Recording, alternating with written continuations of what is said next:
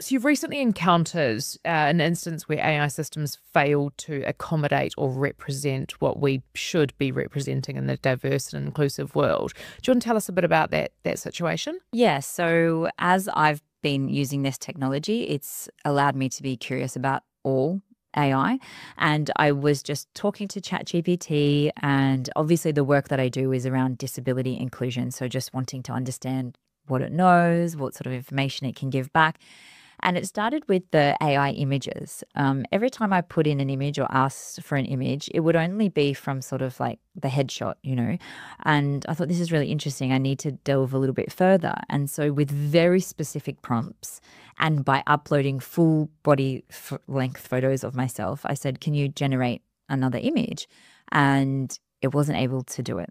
I would get images back where I would have two arms um, and the, even with specific prompting, like, no, I, I don't have a left arm. Can you please reflect that in the image?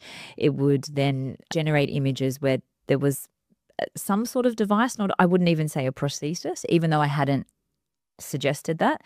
And then I would go back and say, no, I, I don't want a prosthesis. I just want to be who I am. And I'm missing my arm and I'm uploading photos. So why is this so difficult for you?